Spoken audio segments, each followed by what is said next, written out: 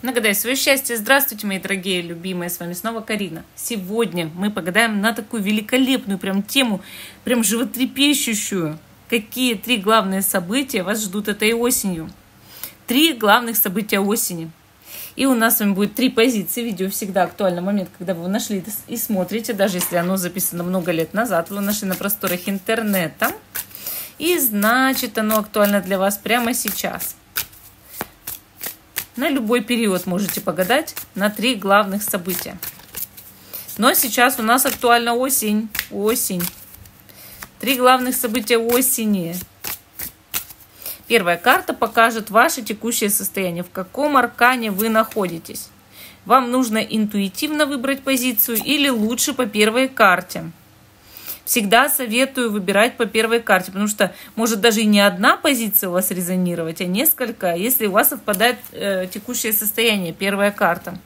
С тем, что вы про себя думаете, ощущаете. Первый камень корнеол, второй камень у нас с вами цитрин, и третий камень у нас э, лазурит. Первая, вторая, третья.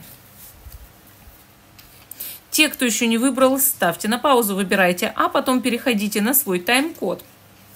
А мы с вами начинаем с самой первой позиции. Остальные я пока убираю в сторону. Три главных события осени. Что за события вас ждут этой осенью? Какие? Основные, да? Корнеол первый. И первая карта – ваше текущее состояние, да? В каком аркане вы находитесь сейчас. Вы у нас восьмерка пентаклей. Такой задумчивый волшебник, да?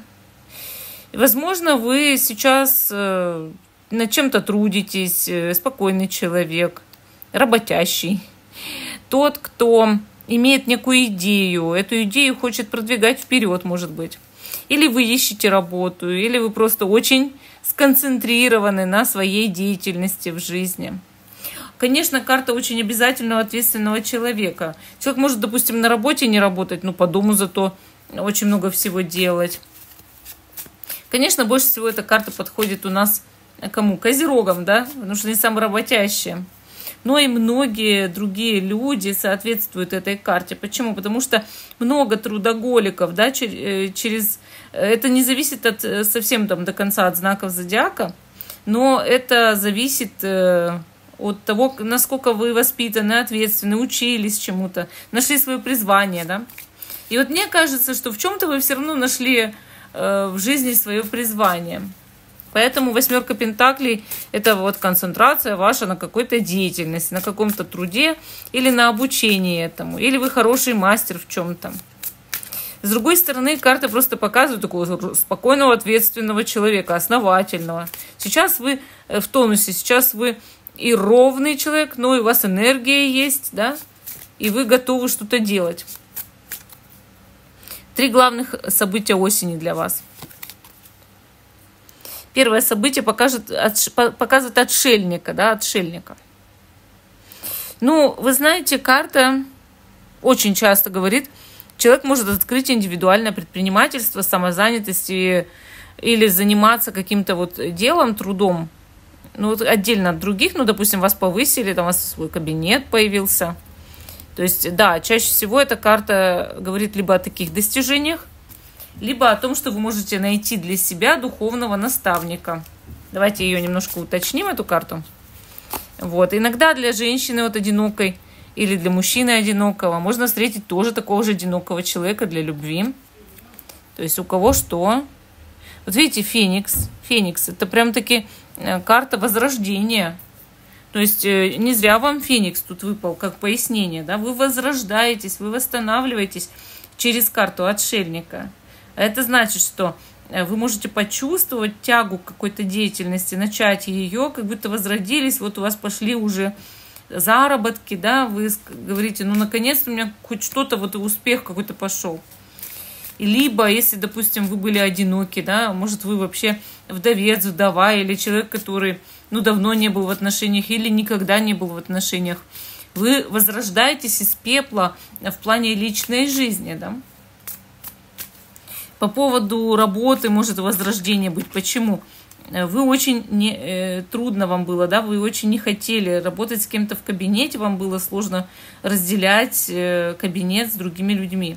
Ну, представим, да, что вас повысили, переместили в некий свой кабинет, и вы говорите, ну, наконец-то вот у меня это произошло, я возродился или возродилась.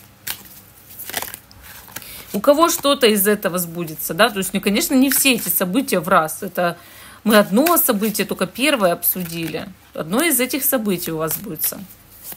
Ну, каждому свое по жизни подходит, да, там, по, по вашей жизненной ситуации. Второе событие давайте смотреть.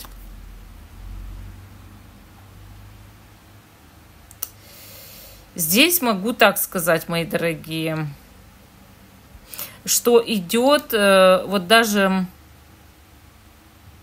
великое вдохновение какое-то в вашу жизнь и невероятный прорыв в жизни, вот как поворот судьбы такой, связанный с какой-то, может быть, хорошей идеей или удачным стечением обстоятельств. То есть мы видим здесь, ну как сказать, небесный небесный ну, ткач это это как ви, ви, знаете ведьмы пряхи да? Вот я все время сравниваю э, такую карту или подобные карты с ведьмами пряхами почему как плетем свою судьбу да? И у вас что-то вплетаются вот э, вплетается в вашу судьбу какие-то новые события э, как будто бы может быть или знакомство какое-то очень важное знаковое да или идея, вдохновение, вот как я говорила, новое дело какое-то, опять же. Или новый поворот в судьбе. Вот давайте его уточним. Рыцарь мечей. Вот прорыв идет в жизни. Прорыв идет. И это связано, возможно, с каким-то мужчиной.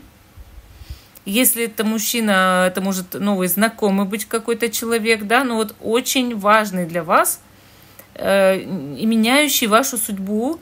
И прям очень много неожиданностей и э, прорывов будет именно связано с этим знакомством, скорее, вот так.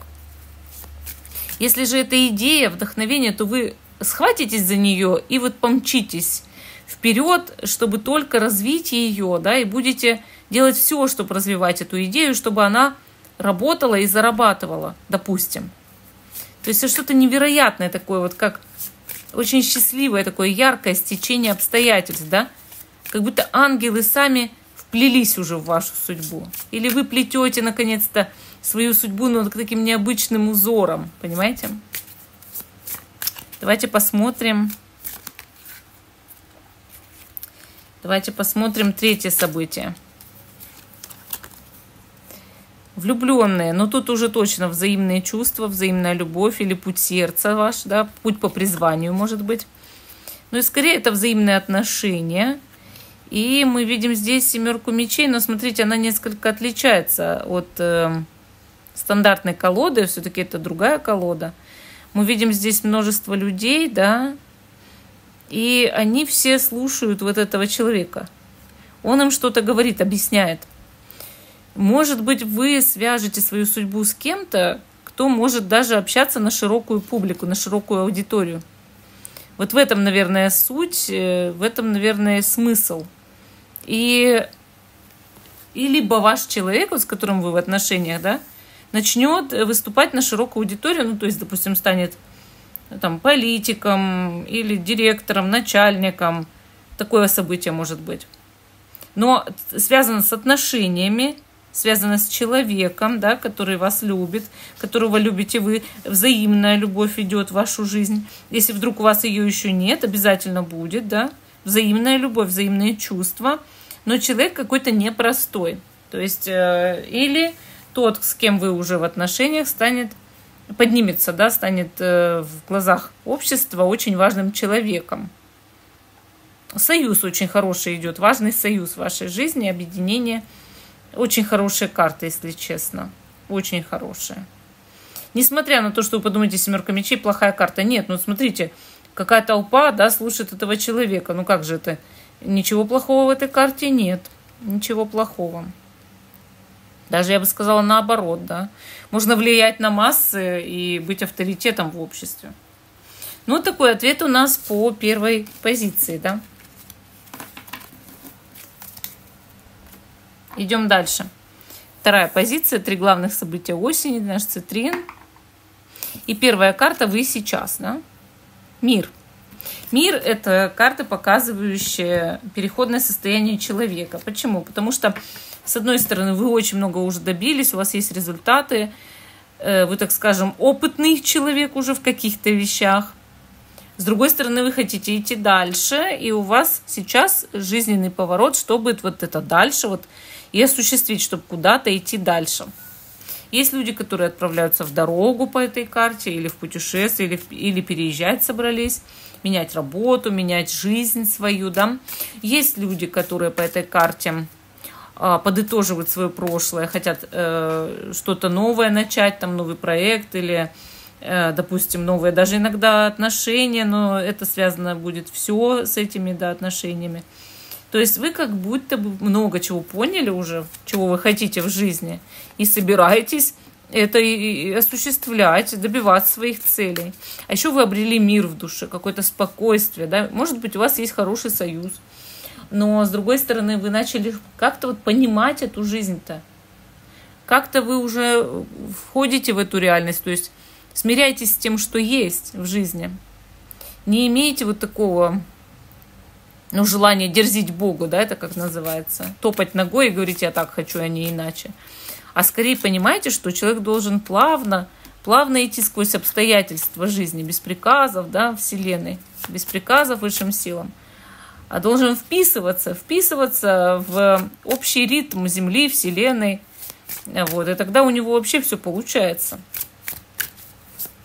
Хорошо, давайте посмотрим, значит, события осени, да, первое событие. По жезлов. Ну вот посмотрите даже на эту карту. Тут э, вот прям свет идет, да, такой. Ребенок э, идет к этому свету, готовый э, совершать волшебство. У него есть волшебная палочка.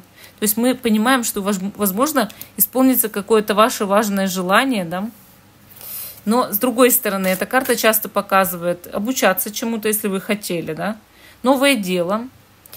Карта показывает важное знакомство или очень важный разговор. Часто показывает какие-то путешествия. Давайте уточнять. Двойка кубков – любовь. Возможно, у вас будет э, прорыв либо в личной жизни, либо очень важное знакомство для какого-то союза. Но карты очень хорошие. Честно, вот э, когда мы видим пажа жезлов и двойку кубков, мы понимаем, что у вас может быть даже очень потрясающий роман этой осенью, да? С другой стороны, если вы там замужем, женаты, не заинтересованы в романах, карты просто могут показывать оживление в отношениях. С другой стороны, хорошая какая-то идея, да? Что-то новое идет в жизнь. Вам хорошо вместе от того, что вы попали в приключения. Сменили обстановку, да? от этого чувства начинают крепнуть друг к другу. Вообще эти карты счастливые. И они говорят о том, что да, ты идешь к свету, и да, ты можешь исполнять свои желания какие-то важные в жизни. И это будет касаться в итоге и твоего союза, твоих личных отношений или просто твоей личной жизни. Прям волшебные какие-то карты. Вот я их вижу волшебными. Так, второе событие. О, восьмерка жезлов. Посмотрите, как прям этот кто-то ягуар или леопард, кто он, все время путаю. Прыгает аж прям с таким этом, как охотник такой, да, добычу свою. Сейчас поймает уже все, вот он такой яркий, такой оживленный. Ну, конечно, какой-то скачок вперед, прыжок вперед. Э, возможно, прорыв э, в плане денег, да, идет. То есть сильное увеличение доходов может быть, как скачок. Так, уточняем на короля кубков. Это будет зависеть или от некого мужчины, или этот мужчина может вам помочь, да? Помочь король кубков может, чтобы у вас был скачок в финансах. Неважно, мужчина вы или женщина. Какой-то мужчина может помочь осуществить скачок э, финансов вперед, да, в лучшую сторону. Третье событие. Пятнадцатый аркан. А вот это интересно, мои дорогие. Это прям таки интерес. Тут мужчина столкнулся с темной силой и говорит с ней. И главное, не боится, а стоит, смотрит и разговаривает, да? И королева мечей. Королева мечей. Важное событие. Темная сила. А королева мечей, вот смотрите, тоже говорит, уже читает письма, да, и тут белый волк или белая собака. То есть как будто бы эта темная сила приручена, да, вот приручена, приручилась. Э, как будто бы мы взяли и приручили физику. Договориться смогли с физикой, да. Пятнадцатый аркан – это великое э, олицетворение физического, материального мира – всего материального. И когда ты сначала боишься этого, да, а потом начинаешь научи, научился договариваться, начинаешь договариваться, то ты потом, как говорится, на ты уже с этим всем разговариваешь, да. Может, вы сможете улучшить свое здоровье, например. Ну, это же физика здоровья, физического тела же. Потом что еще может быть? Эм, ну, допустим, какой-то человек, да, кого ты сначала боялся, а потом перестал бояться, потому что ты его с ним научился договариваться, ты его приручил, подружился, подружился. Но этот человек сначала был каким-то злым для тебя, темным, да, там. Но тут еще есть момент, мои дорогие. Тут мужчина есть на картах и женщина. Видите? Пятнадцатый аркан и королева мечей. А это как пара какая-то может быть, да? То есть это может быть мужчина, он весь такой вот козерог какой-нибудь, да, женщина знака воздуха. Или мужчина, э, э, как сказать, э, очень темный, да, с темной стороны, роковой, что ли. Мужчина, а женщина мудрая, мудрая, у нее есть тотем, тотемное животное, белый волк, кстати, белая собака, белый волк. Белая собака – это мое тотемное животное. Я, когда мы делали эм, медитацию специальную. Есть такая медитация, что познакомиться со своим тотемным животным. Она в шаманизме, ну, вообще сам шаманизм это очень сложно, это такое посвящение надо, чтобы шаманом стать, нужно посвящение такое страшное пройти, когда тебя там и бьют, и ты должен там э, валяться что-то сколько-то в каком-то дурманенном состоянии, абсолютно голый, потом пройти по дереву, э, берут огромное дерево, с него срезают ветки, и ты должен с закрытыми, по-моему, глазами пройти по всему стволу. Там очень сложно. Такое мы, конечно, не делали, что такое шаманизм не посвящались, но есть такая медитация в шаманизме, что познакомиться со своим тотемным животным. Вот это мы делали. У меня белая собака. Я это точно видела прям четко. Белая собака. Вот. И вот тут я вижу ее, да, и понимаю, что вот может кто-то тоже имеет или такой тотем, да, волк или собака, или просто вот э, у вас, э, вы э, как спокойная женщина, допустим, или просто, ну, мы берем спокойную женщину, да, и мужчина, он такой дикий прям. Вот такой он прям весь темный, прям роковой. Но они объединяют свои силы, и у них получается вот они как будто, как, не знаю, противоположности какие-то. Вот объединение противоположностей может быть третьим событием. Ну, или, или как, ну, подчинилась вам физика, подчинилась, ну, вот как любому магу, да, Э, самое, самое главное, что маг должен сделать в своей жизни, любой маг, любая ведьма, любой маг, волшебник, э, это подчинить физику, правильно? Ну, это самое главное, влиять на физику. Если вы это сделали, вы супер. Может, у вас такой прорыв будет, если вы занимаетесь эзотерикой. Ну, вот такой интересный ответ у нас э, по второй позиции. Третья позиция. Три главных события осени. Да? Тут у нас лазурит. И первая карта это вы. Вы сейчас, да? Так, вы у нас сейчас четверка жезлов. Дом. Прям э, сделали, вот кто создатель этой колоды, да? Ассоциацию просто с счастливым домом счастливый дом, где все хорошо, казалось бы, да, вот со стороны смотришь. Конечно, внутрь мы с вами не зайдем. Дом волшебный явно. Там может быть кто угодно волшебный жить там, да, или семья, или человек, или ведьма, или там еще кто-то, колдун. А может быть, какие-то странные существа, да, совершенно нереальные. Но сам факт, вы человек-дом, вы как-то вот со стороны смотритесь очень тепло, уютно, благополучно. Хочется к вам сразу заглянуть, тянуться, идти к вам в гости. Что внутри никто не знает, но подозревает, что там все хорошо. На самом деле, вы же знаете, да, что ни у кого дома не бывает все хорошо. Нет идеальных отношений, идеальных браков. Это все иллюзия тех, кто находится снаружи. Я не думаю, что у вас в жизни все идеально, но для многих людей вы смотритесь довольно стабильно и благополучно, да? Э, но вы стараетесь держать лицо, вы стараетесь быть для многих этим домом, да? Это хорошо. Это очень хорошо быть полезным, быть уютным и добрым, помогать. Э, когда к тебе может кто-то зайти и пригреться у твоего камина, это очень хорошо. Быть таким человеком – это незаменимое качество. Возможно, вы для многих незаменимый человек или для окружающих. Хорошо, давайте посмотрим три главных события осени. Первое событие, значит, королева кубков. Любите быть любимой, быть э, в волшебных э, энергиях, идти за, за волшебными огоньками в, темном лесу, да. Карта потрясающая, конечно, потрясающей красоты, да. Может быть, но она очень часто связана с красотой самой по себе, с повышением уровня привлекательности. Может быть, вы чем-то таким займетесь. Или будете работать с этим, или действительно сделаете ряд процедур для повышения привлекательности, или даже операцию, или смените гардероб, будете заниматься своим имиджем. Но иногда это само событие по себе. Любить и быть любимым человеком для кого-то. То есть взаимная любовь, но такая, что ты точно знаешь, да, что ты точно знаешь, что вот тобой дорожат. Это очень круто. Но иногда события здесь может, могут быть связаны с некой женщиной, да. Это женщина, которая очень важна будет в вашей жизни осенью.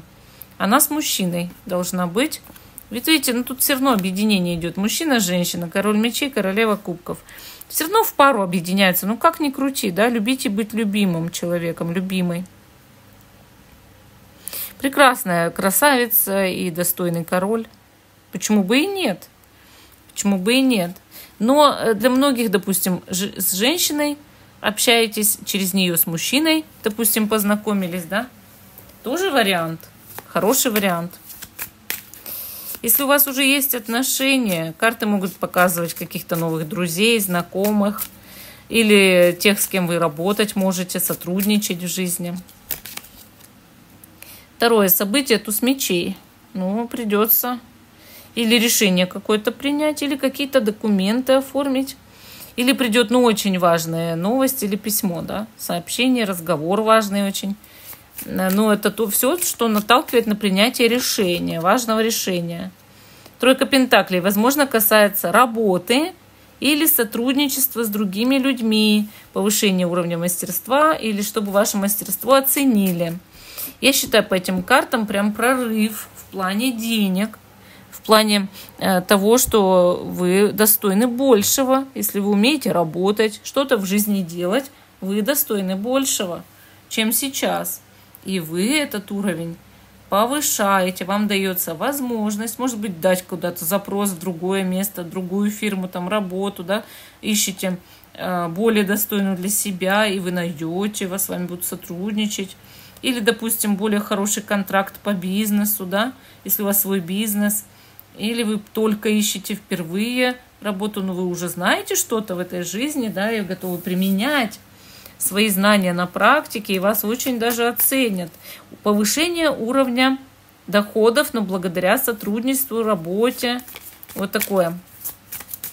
Или благодаря разрешительным документам на работу.